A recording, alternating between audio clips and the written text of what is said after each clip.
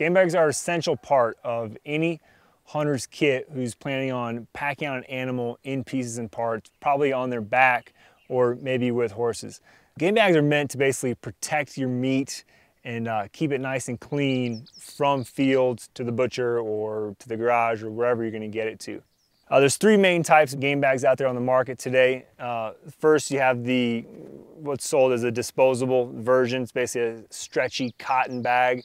You see them from Alaska Game Bags. Uh, Remington sells a four pack, I think, of these things. Not really made to be reusable, but certainly can be reused. Um, I usually just, to, to, clean any of these bags, um, just soak them in cold water and uh, constantly rinse it out to get most of the blood out and then run it through a couple cycles in the wash and uh, you should have a pretty clean bag. And they work great. The, you know, you can just throw the package in your backpack, super lightweight, but like I said, usually not reusable. It's a kind of a one-time deal.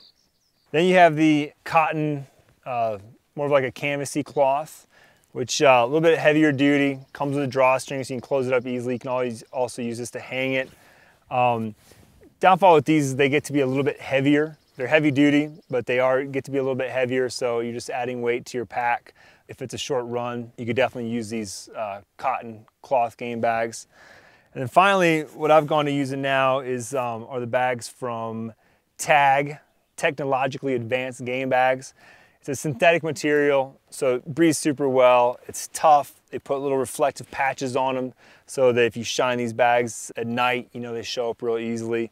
Again, come with a drawstring, and I usually use this to uh, tie off the bag um, to hang it if I need to hang it for a little bit.